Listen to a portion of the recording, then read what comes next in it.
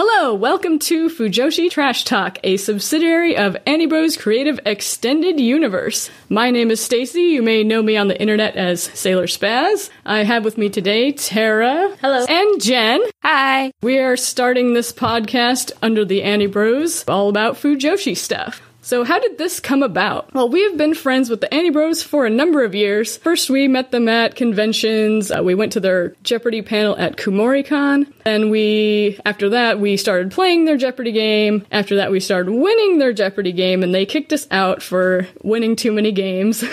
so then we moved on to helping them make the games. And then that eventually worked up to hanging out outside of the cons and even traveling to Japan together. So knowing that they had a long running podcast, we also wanted to get in on this action. But we thought, hey, we can expand it to other subjects that the core bros might not be interested in. And that's where we come in. Us filthy Fujoshi trash want to use this podcast to talk about topics that interest us and our fellow Fujo sisters. Today, some of you may be new to the subject and not sure what we even mean by calling ourselves Fujoshi or saying that we enjoy BL slash yaoi slash slash. So we'll first briefly go over some common terms. Then we'll share with you our own sordid personal histories, the dark tales of how we ended up like this. So first we'll go over the term that is used in the title of this podcast, Fujoshi. This is a Japanese term that uses the characters for rotten and female. Basically, it refers to women who enjoy BL and yaoi, what are those? Well, BL stands for Boys Love. It's about male male relationships. Despite the name, it does not necessarily mean young boys, but can also be adult men. And a note do not search for boys' love in English, you will regret it. uh, speaking from experience. uh, yes, unfortunately. Probably on some FBI list now, I don't know. but boys' love is typically made by women for a female audience. In Japan, it's used as a catch-all term for both canon and non-canon things, such as, say, you know, shows that are actually about boys in love, or just things where fans have taken two characters and made uh, made them in love in their fan works. Boys' love has come to be the catch-all term that replaces other words that have fallen out of usage in Japan, such as shonen ai and junei. Next is yaoi. In English, this is used as a catch all term, but this is not true in Japan. It seems that each culture is kind of disguising what they're into by the Japanese using an English term, the English using a Japanese term. In Japan, yaoi refers mainly to fan works such as doujinshi and not mainstream things that would be called BL over there. The term is an acronym for the phrase yamanashi, ochinashi, iminashi. This means no peak, no point, no meaning Basically, denoting that there's no grand delusions of producing high art, it's just smut.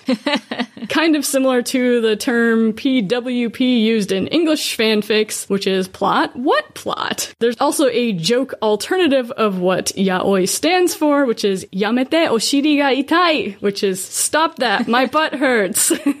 As for the English side of fandom, terms such as slash are used to refer to male-male pairings, though that term can also be used for female-female as well. The name comes from the fact that a slash is used to separate characters' names. In the earlier 70s, an example that was common at that time was Kirk slash Spock. And another English term you may hear is ships, which is simply a shortened version of the word relationship. This is a versatile word that can be used as a noun, like say, these are my ships, I love them, rah!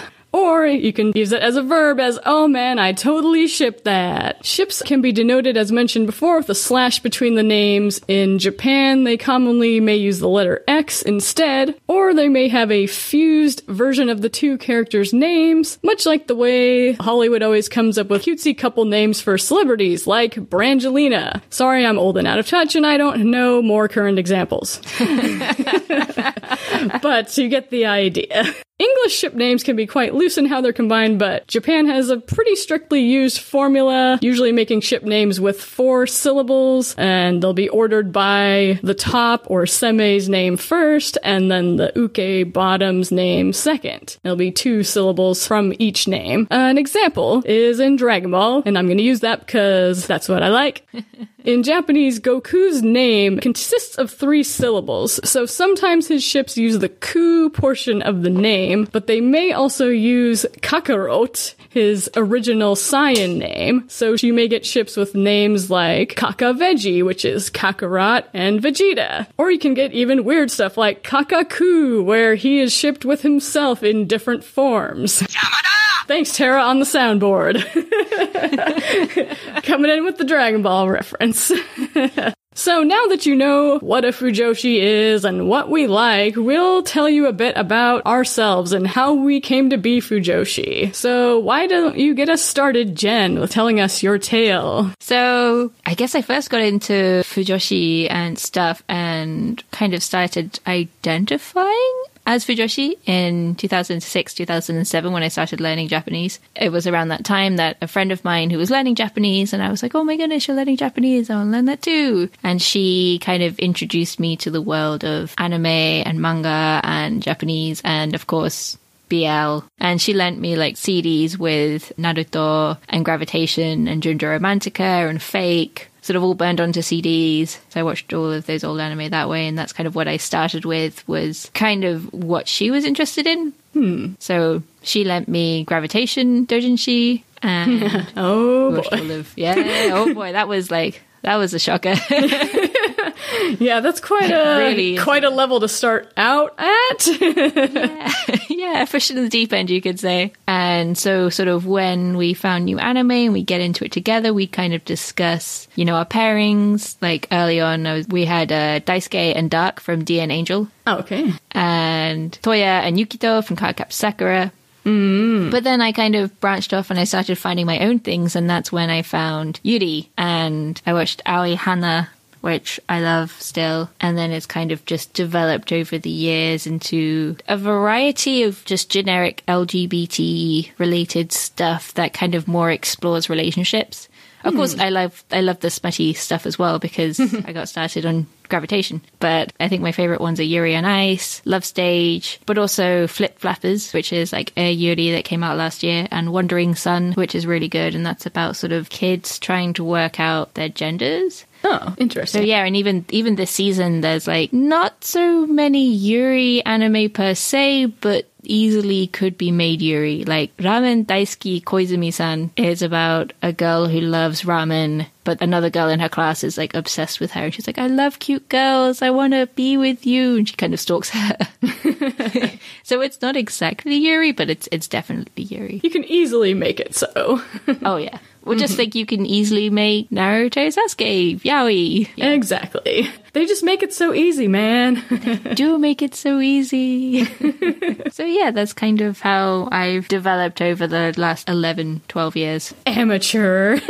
I know, I am not, I'm a baby compared to you. that sounds offensive. Why would you think that? All right, let's move on to Tara, and she can tell us her sordid tale. Okay, so I first was introduced into Fujoshi in college. Stacey, who was already a master at that time, and my friend Kristen are the ones who introduced me to it. My gateway BL has always been Gravitation, still one of my favorites. I love BL mainly because I really enjoy the characters. I love how crazy and outrageous they are and how fun they are. One of my other all-time favorites is Junjo Romantica, which really, if you think about it, it's a little obscene. Um, but I still love the way the younger brother reacts, even if he does get molested in the first episode. It's But a common theme. Yeah, that is unfortunately a common thing, but we could go into to that. that's a whole nother topic for a different time. yeah.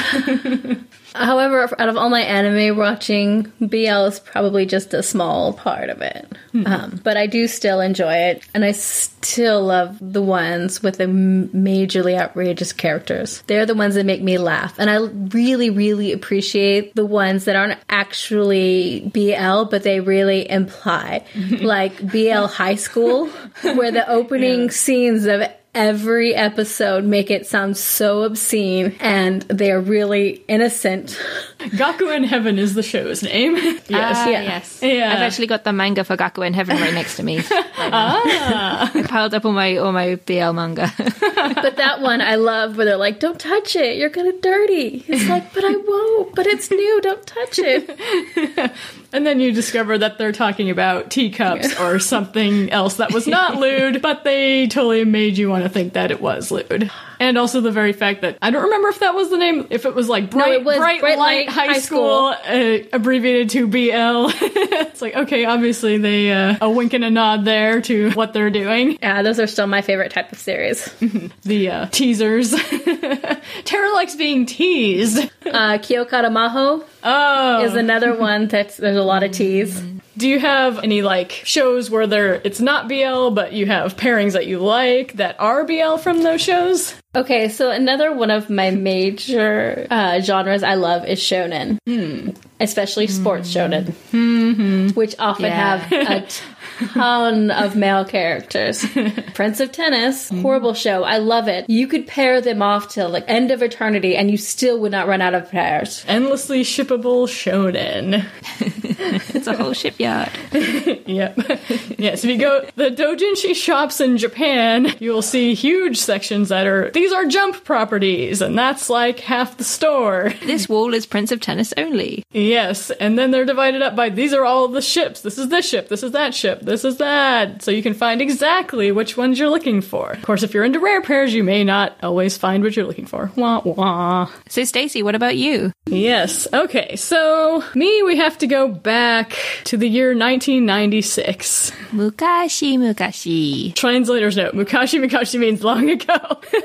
I was a young girl in middle school. I had a friend. Yeah. For this, I have to go back all the way to when I got into anime itself because the two things, becoming otaku and becoming fujoshi, were nearly simultaneous. Mm-hmm. So I had a friend who was watching Sailor Moon and she would talk about it all the time, like drawing pictures in class and telling me about different things. And then I'm like, eventually I'm like, okay, come on, you gotta show me this show because I have to see, you know, what it's about. You know, you think it's really great and wait, what's so great about it? It's just some cartoon, right? So I did eventually get a tape from her because back in that day it was VHS tapes off of TV. That is how we got the shows. We didn't just download them, kids. So I got a tape of Sailor Moon from her and uh, it wasn't the beginning part of the series. It was maybe 30 or so episodes in was the first tape I was able to get from her because she had a couple younger sisters and they were both watching the show too. So she said, well, they're watching the other tapes right now, so I can let you borrow this one. So I watched Sailor Moon and I'm like, you know, blown away, blah, blah, blah. I'm sure all, anyone who's getting into anime knows you just feel it's just something different than what you've ever seen before, basically. And another part of my history is that I tend to be, I like the bad boys, I like the villains of the show. So watching this part of Sailor Moon in the first season, there was a character that I found really intriguing. It was one of the villains, and as I thought at the time, her name was Zoisite, and she was like this badass bitch doing what she wants and just messing with the heroes all the time. And another cool part that I thought is like, oh, and she also had this villain boyfriend, which I thought was really neat. It's like sometimes the villains are just like, oh, you know, they're just the villains. They don't have any lives. They're not, you know, meant to be anything more than just a foil for the heroes. But, you know, seeing a, like a villain in a relationship, it was like, it was a cool thing. It was like, wow, they actually have some development going on here. So I started getting into this, what I thought at the time,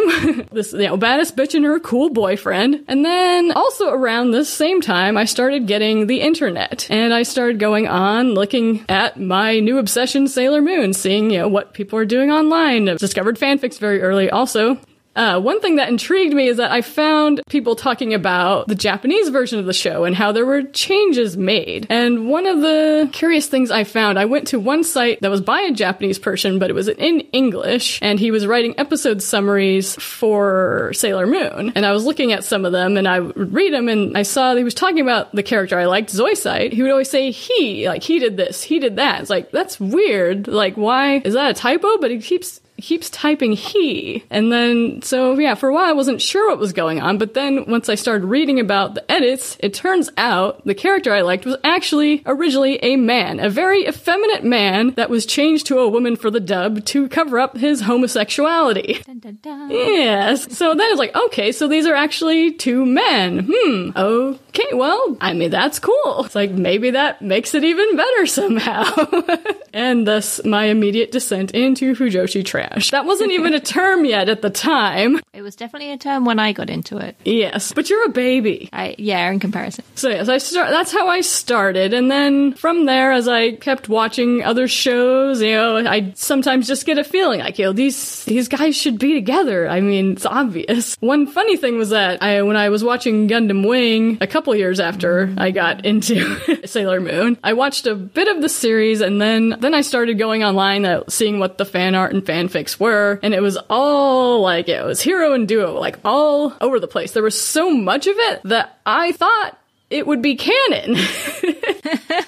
It practically is. it's like if there's this many people like writing this, I mean, this must be in the show. And then like as I kept watching the show, I was like, when, like when is this going to happen? When are they getting together? And by the end of the series, like nothing had happened. Like what the fuck? It's like oh, okay, so sometimes ships are just created by fans, and even if they're way, way, way more popular than the canon pairings, that doesn't make them true. Gundam Wing is an interesting case because even official art has a lot of things where they seem to be shipping it themselves. Like there's things where the boys are all hanging over each other and putting their arms around each other. It's like, okay, I'm pretty sure it was intentional because they know there's a market for that, but unfortunately they didn't actually put it in the show. I kind of have a split between canon ships and non-canon ships. I think it tends a bit more towards the non-canon just because, at least on the BL side, I think for straight or het shipping, I'm mostly canon pairings, but BL is mostly non-canon. Non-canon, but with, come on, total proof that they should be a couple.